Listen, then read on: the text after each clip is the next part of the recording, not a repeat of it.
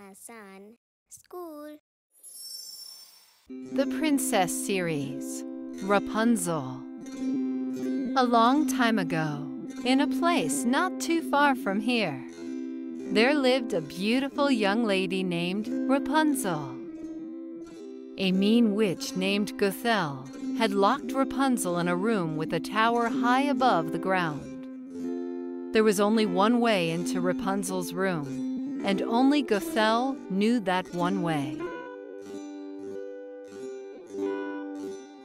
Every day, Gothel would approach the window and yell up, Rapunzel, Rapunzel, let down your hair. Rapunzel had beautiful long hair that she would wind around a hook and then lower to the ground. Gothel would climb up her hair to see her. Gothel kept Rapunzel's tower a secret from everyone around. Everyone except the prince. A handsome young prince named Garamond was riding past Rapunzel's tower when he heard her singing high above. He was enchanted by her voice, and he returned day after day to listen to her. He longed to meet her. One day, Garamond was lying in the tall grass listening to Rapunzel when Gothel walked up and called to her. Gothel hadn't seen the prince, so he hid in the long grass and watched Gothel climb up the hair and into Rapunzel's room. As soon as Gothel left, Garamond ran to the base of the tower and yelled, Rapunzel, Rapunzel, let down your hair. And she did.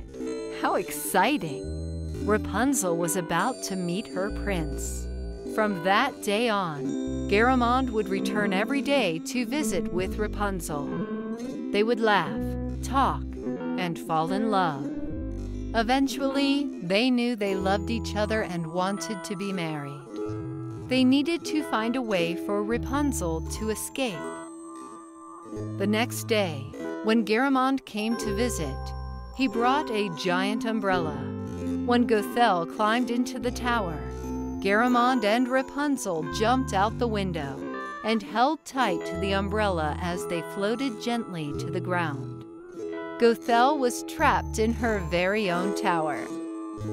Rapunzel and Garamond were off to live in happiness. When Rapunzel and Garamond returned to his castle, the king and queen were overjoyed to meet Rapunzel. They immediately made plans for the biggest, happiest wedding the kingdom had ever seen. And they got married, and they lived happily ever after. The end.